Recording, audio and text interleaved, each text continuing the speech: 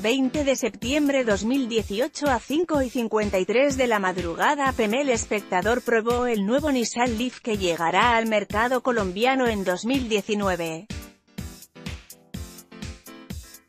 Diseño renovado, mayor autonomía y asistencia de conducción, son algunas de las novedades. Video of Nissan Leaf, un paso hacia los vehículos autónomos, el espectador.